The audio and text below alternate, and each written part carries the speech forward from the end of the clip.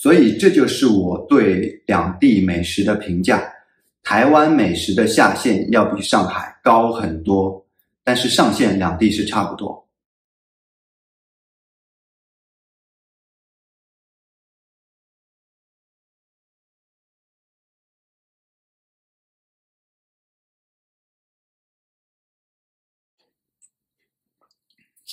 Hello，大家好。我是爱喝奶茶的奶爸狗狗，来自上海，原本是一个广告设计师，现在是全职奶爸，目前在台北生活了一年半的时间。今天呢，终于要说这个话题了，美食。说到吃的，真的让人很激动。虽然我不是什么吃货，但是美食总是能让人心情变好。呃，我老婆除外，她只喜欢吃毛豆和泡面，很好养，但是让我很头痛。我是空有一身还过得去的厨艺，但是没有多少用武之地，真的只能期待我的儿子快点长大来品鉴他老爸的手艺了。尤其是我又住在台湾所谓的美食荒漠台北，所以对台湾的美食了解程度呢是很有局限性的。这一期呢就作为抛砖引玉，期待大家告诉我更多的台湾美食。对于台湾的评价之一啊。对岸的很大一部分人都会一致说，台湾的东西很好吃啊。然后上海在早几年的时候也会时不时搞一个号称士林夜市的地方，而且会有相当多的人去排队。那种夜市呢，普遍最多的就是三样东西，一个是鸡排，一个是大肠包小肠，一个是蚵仔煎。但凡是有号称台湾夜市、台湾美食的地方，必然会有这三样东西。然后我也去吃过，吃下来呢，觉得也没有很惊艳。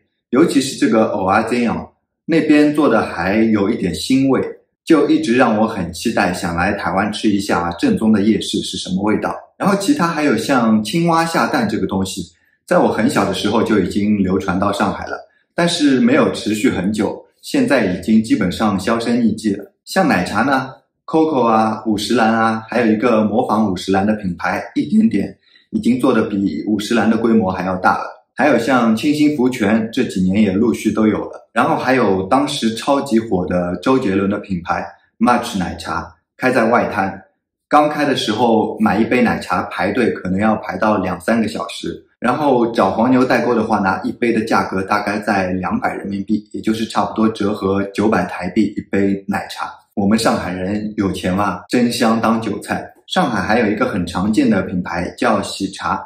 它是当之无愧的上海饮料界 number one，呃，无论是它的价格，还是人气，还是它的营销策略，都已经是成为一个现象级的品牌标杆。它的口味呢，以水果茶为主，然后用料十分丰富，是没错。呃，只是相对于这个用料，它的价格还是有一点高的。一杯通常的价格是三十到五十人民币，也就是差不多大概在两百台币左右。好，先不说奶茶了。我们说回台湾的美食，台湾美食最出名的应该就是卤肉饭了吧？我一亲来台的时候，第一次带我到外面去吃饭，也是被招待吃卤肉饭。说真的，因为我之前来台湾也吃过卤肉饭，所以我并没有觉得这个卤肉饭有特别好吃的地方。一是它卤肉的味道其实和上海的红烧肉比较相似。就是用酱油来调味猪肉，无非一个猪肉是一整块的，然后卤肉饭的猪肉是切碎掉，所以我一直搞不太懂卤肉饭好吃的点在哪里。呃，就对食肉动物而言，它的肉也太小了，太不过瘾了。而如果你要说拌饭吃的话，像鸡汤拌饭啊、肉汁拌饭都很好吃，为什么偏偏要用卤肉拌饭专门做一个菜式呢？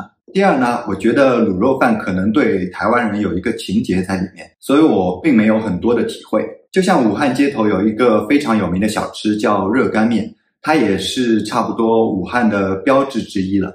但是我吃过也没有觉得特别好吃。而它的来源呢，正是因为当时汉江码头的码头工人装卸货物期间需要找食物来果腹。当时以面食为主嘛，但是你吃一碗汤面，热汤热面的吃起来非常费时间，所以就发明了这样一种能快速入口又能填饱肚子的平民料理。所以呢，当地人是有一个历史典故，有一个情节在里面的。想来卤肉饭应该对台湾的市民也是如此，所以我这个新住民呢就觉得卤肉饭普普。然后呢，我也陆陆续续吃过了炸鸡排啊、大肠包小肠啊、娃娃煎啊、QQ 球啊、炸鸟蛋啊、肉丸啊、霸丸啊这些东西。说真的，也都没有非常惊艳到我，反而是有许多值得吐槽的点。尤其是我上次说的那个许多人排队的所谓的大上海生煎包，呃，那么厚的皮，然后整个放在水里煮，而且它的馅是有高丽菜的。这简直真的是在侮辱生煎包，就和拿猪血糕做披萨侮辱意大人一样，拿生煎包来侮辱上海人。我还吃过一家所谓上海面馆的雪菜肉丝面，然后雪菜肉丝面在上海也算很普遍、很平民的一种食物，但是它的雪菜竟然是新鲜的、没有腌制过的雪里红，切碎了而已。这真的是在上海见所未见、闻所未闻。我当时就吐槽老蒋那个时候逃难没有带上海的厨子过来吗？还是因为他是宁波人，口味偏咸，而上海菜口味偏甜，他吃不惯。我也吃过鼎泰丰的小笼包，也就是普普通通的小笼包，但至少它还算是小笼包，比所谓的大上海生煎并不是生煎要好一点。吐槽了这些呢，你们也不要不爽，不爽也没有用，因为口味这个东西就是主观的，不能再主观了。我不喜欢吃，你硬要我说好吃也没办法的，对吧？但是啊。但是啊，但是啊，我要开始转折了。这里我说一句公道话：台湾的美食呢，下限非常非常高，非常非常之高。就是你路上随便找一家店进去，都不会太过难吃。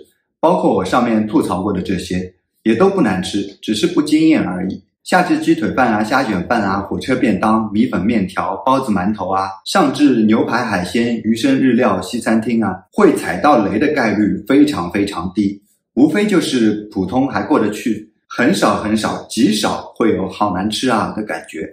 这个下限啊，是我对比上海而言，因为上海有一些店真的做的就还没有我做的家常菜好吃，一些新开的店没有勇气，还是不要轻易尝试。然后上限呢？两边是差不多的，呃，上海米其林餐厅有四十几家，台湾有三十几家。虽然米其林这个排名是被我嗤之以鼻的，米其林根本不懂中餐，但是也能从某一方面看出，两边的高级餐厅水准是差不多的。像上海的圆明园路啊、湖南路啊这些地方，有一些非常高级的日料餐厅，也有一些很高档的本帮菜餐厅，上限也很高。虽然在台湾呢，我还没有怎么去过高级餐厅，但是有一些中等偏上的我也去吃过，是觉得还不错的。像有一些日式烤肉店，它的和牛品质非常正宗，所以这就是我对两地美食的评价。台湾美食的下限要比上海高很多，但是上限两地是差不多。所以我刚来台湾就一直在想，如果我的朋友到台北来找我玩，我要带他吃什么？才能使他心中那个美食圣地台湾符合他的预期标准呢？我费尽心思找了几样我觉得不会让他失望的美食。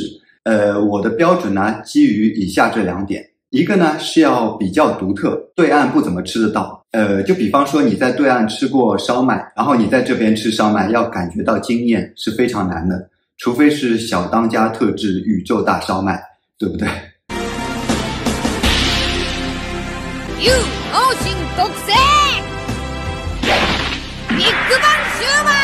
所以最好相对要独特一些。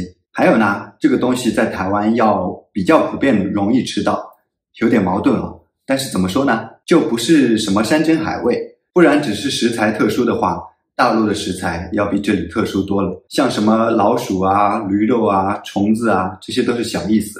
好，一日之计在于晨，早餐要吃好，我会先带他去吃台湾早餐店。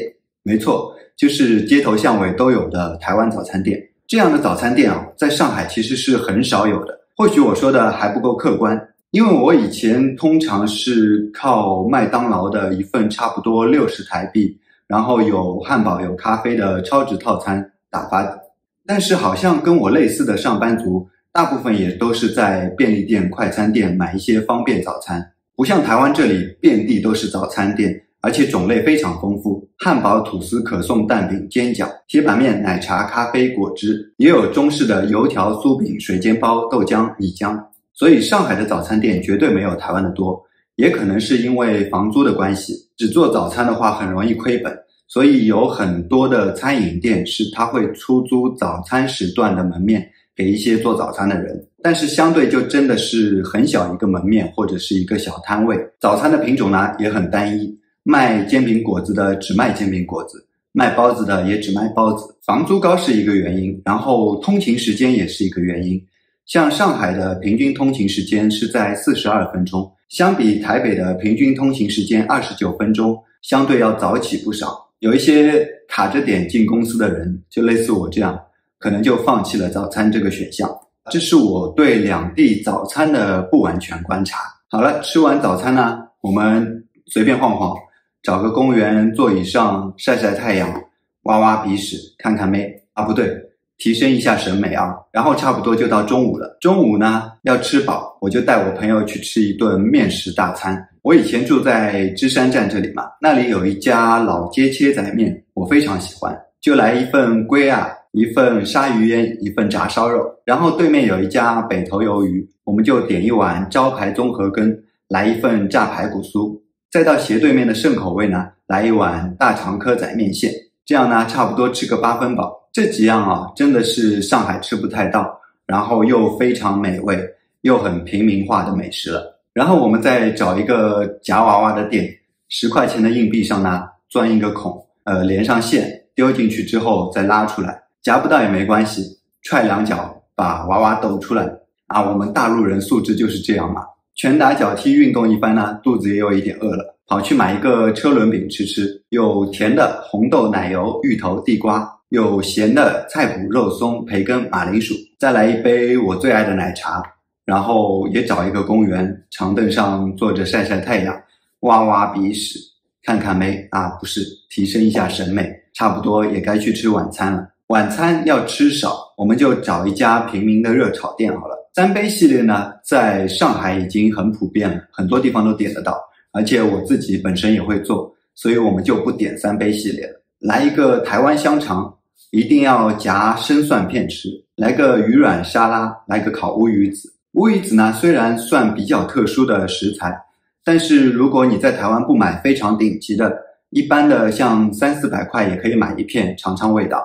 然后再来一个菜脯蛋、九层塔煎蛋，这种做法上海吃不到。再然后呢，椒盐龙珠、科爹上海也没有，虾卷、猪血糕上海是比较少的。最后呢，再来一个情人果解解腻，这样晚餐马马虎虎也吃的差不多。晚餐过后呢？我会带他去林森北路晃晃。其实我也不知道那是一个什么地方，只是听他的名字，感觉那边绿化很好，绿油油的，遍地都是森林，适合饭后散散步、消消食。逛到夜深时分，我们再去吃个卤味，花枝丸、贡丸、麻辣鸭血、嘴边肉、大肠、炸豆包、大陆妹、鸟蛋甜不辣。旁边的摊位还有盐水鸡、关东煮、东山鸭头。不过鸭头这个东西，我倒真的还没有吃过。大陆也有，但是我不知道怎么吃，所以还没有尝试过。大陆呢是吃鸭脖子比较普遍一点。好了好了，这一天也就吃的差不多了，回到家也没有什么娱乐活动了，我们就早点洗洗睡吧。